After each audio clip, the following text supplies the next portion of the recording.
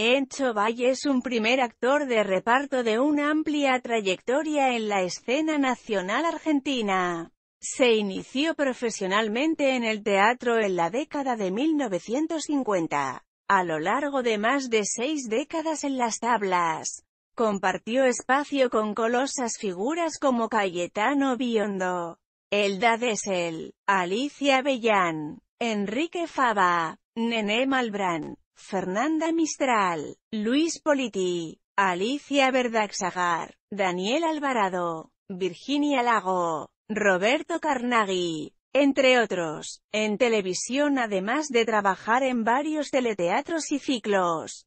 Coprotagonizó en 1980 junto a Elcira Olivera Garcés la telenovela Llena de Amor con libro de Abel.